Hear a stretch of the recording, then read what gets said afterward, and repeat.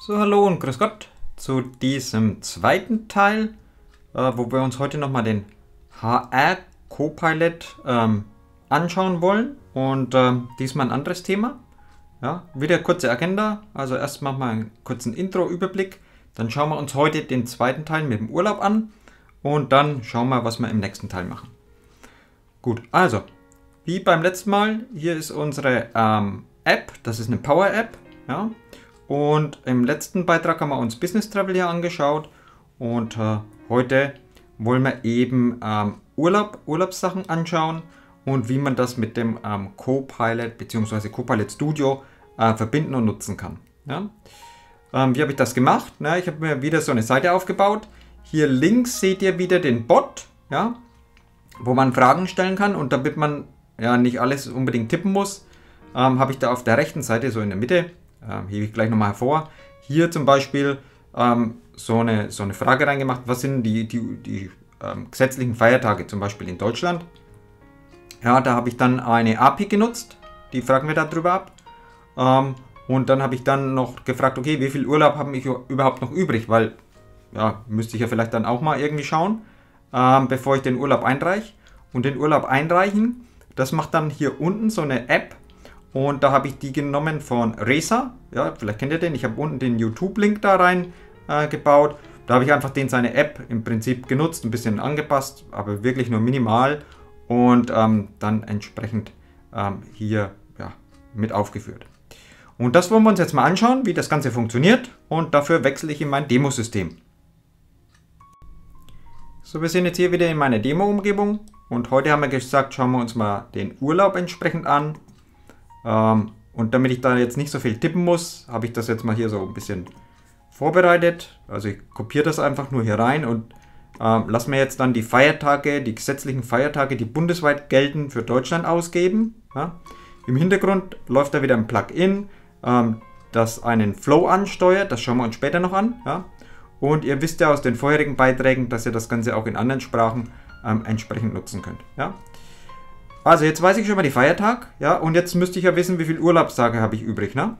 Da habe ich auch ähm, hier so eine Beispielfrage vorbereitet, ja, die ich jetzt eingeben kann und er wird mich nach einem Namen fragen. Da kommt aber dann gleich so ein anderer Text. Da steht einfach nur, what is your text? Ich erkläre gleich, woher das kommt. Ja. Wir nehmen jetzt mal David so ähm, und jetzt da geht er quasi wieder über den Flow auf eine SharePoint-Liste und schaut einfach nach, wie viel Urlaub der hat. 27. So, jetzt da könnte es ja sein, okay, jetzt habe ich Urlaub, ich weiß die Feiertag, jetzt gehen wir her und starten hier diese App.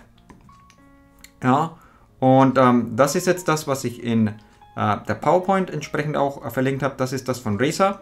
Ja, ich könnte jetzt hier rein, ja, aber ich bin jetzt hier mit dem, da, äh, mit dem Systemadministrator eingeloggt. Ne? Ähm, also das wäre jetzt nicht so ideal, deswegen wechsle ich mal in die Sitzung vom David, ja, weil der soll ja seinen Urlaub eingeben. Das machen wir jetzt mal groß hier. Also er hat jetzt scheinbar schon ähm, Urlaub eingereicht, zweimal. No, jetzt machen wir ja nochmal einen dritten. So, und dann sagen wir hier ähm, David Holiday 3. Äh, so, und dann sagen wir zum Beispiel, ähm, er braucht jetzt nochmal am 30. Januar ähm, einen Tag Urlaub. Okay, und dann sagen wir Submit Request.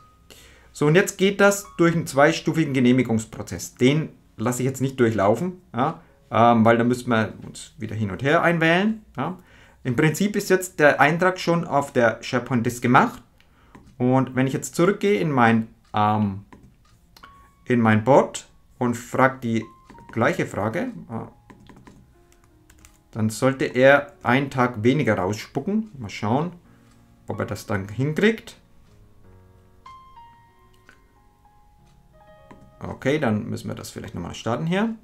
Also gehen wir mal hier drauf. Um, what is the number of holidays that I have left?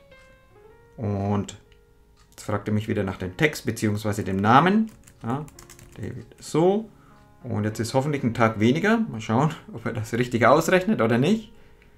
Und äh, dann sollten wir das Ergebnis bekommen. Also 26 Tage, das hat er jetzt quasi übrig. Okay, gut. Also das war es jetzt soweit mit der Demo. Jetzt würde ich sagen, schauen wir uns mal kurz an, wie das Ganze mit dem Setup funktioniert. Ja? Also dafür wechsle ich wieder in Copilot Studio. Ähm, ich bin hier schon in den Topics Und dieses Mal habe ich für den Urlaub zwei Topics genommen. Einmal Public Holidays. Ihr seht, da ist wieder ein Flow dahinter. Ja? Und dass auch hier dieses Dynamic Chaining verwendet wird. Das heißt, ich gebe jetzt nicht irgendwie vor, was der zu fragen hat, sondern der Benutzer kann einfach eingeben, was er will. Ja? Und ähm, das sehen wir jetzt dann gleich. Ähm, was für ein Flow da angetriggert wird, das sehen wir hier. HRBot Public Holidays. Ja, das ist der Flow, der dahinter steht. Hier habe ich natürlich wie immer eine Beschreibung.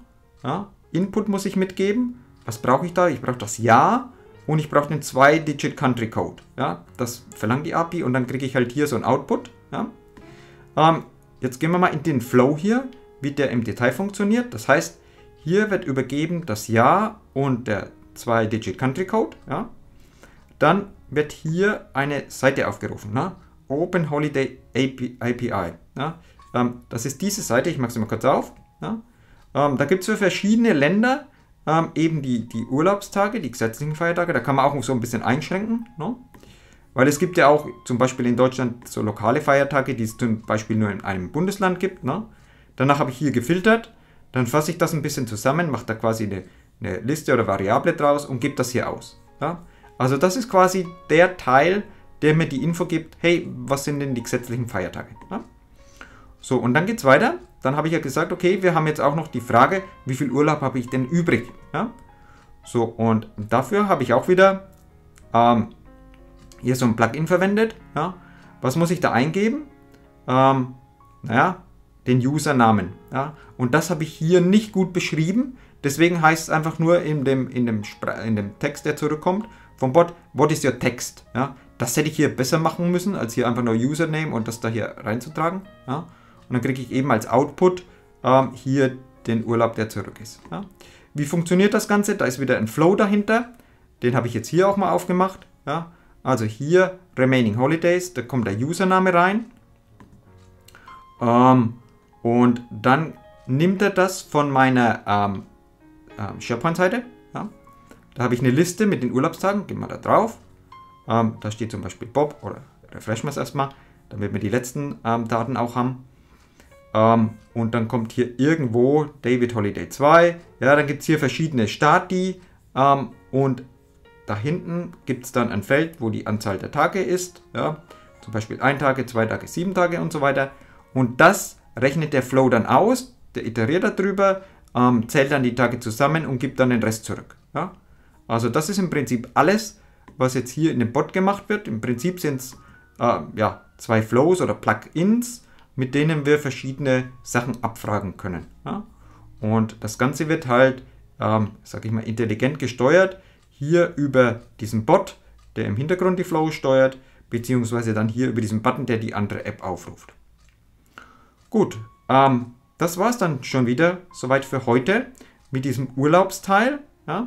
Im nächsten Beitrag schauen wir uns die anderen Themen an, aber das erkläre ich gleich noch in der PowerPoint. Da gehen wir jetzt hin zurück und schließen den Beitrag dann ab. So, jetzt auch hier nach dieser Demo eine kurze Zusammenfassung noch, beziehungsweise wir betrachten uns was schon mal im nächsten Teil an. Und zwar schauen wir uns da an Krankheit und Arbeitszeitregelungen. Ja. Ähm, dann nutzen wir wieder eine SharePoint-Seite, aber äh, wir nutzen auch ein PDF-Dokument, das ich in Deutsch abgespeichert habe. Also dieses Dokument ist Deutsch, wir fragen dagegen in Englisch ja, und äh, betrachten uns dann diese zwei ähm, Punkte entsprechend hier. Für heute aber war es das mal wieder. Vielen Dank fürs Zuschauen und Zuhören. Und wie immer, wenn es Fragen gibt, unten sind meine Kontaktdaten. Dann Dankeschön und bis zum nächsten Mal.